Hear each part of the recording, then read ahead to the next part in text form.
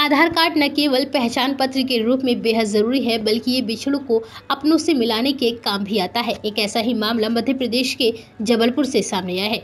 यहाँ पाँच साल पहले भटक कर आया एक बच्चा आधार कार्ड की मदद से अपनों के बीच पहुँच गया है। मानसिक रूप से कमज़ोर सत्तर साल के इस लड़के को लोग लालू कहकर बुलाते थे और वो महाराष्ट्र का रहने वाला अनस निकला। अनस के परिजनों का पता तब चला जब बाल गिरह के लोग उसका आधार कार्ड बनवाने पहुँचे। दरअसल, अनस महाराष्ट्र के जलगांव का रहने वाला है। वो जब दो साल का था, तब उसके माता पिता की मौत हो गई थी।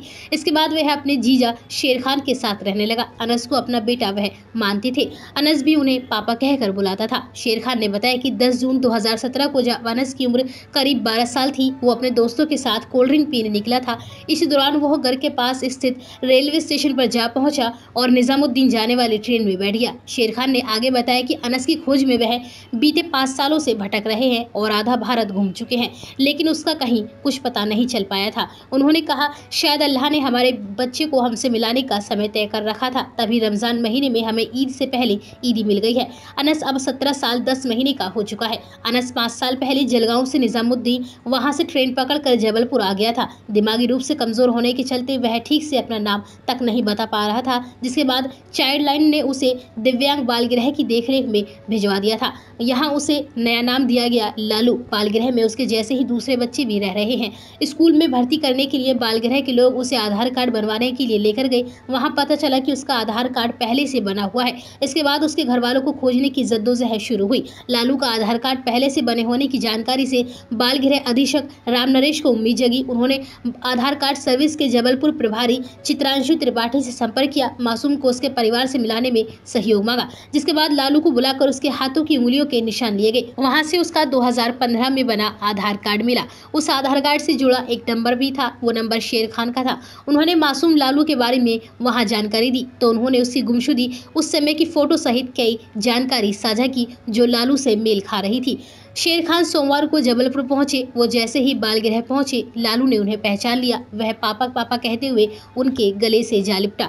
रूंधे गले से शेर खान ने बताया कि उसका असली नाम अनस है। उन्होंने लालू की कस्टडी लेने की ज़रूरी प्रक्रिया पूरी की, फिर मंगलवार को वह उसे लेकर महाराष्ट्र के जलगांव रवाना हो गए। लालू भी परिजनों का साथ पाकर काफ़ी खुश दिखाई दे रहा था। सभी बच्चों ने उसे खुशी खुशी विदा किया।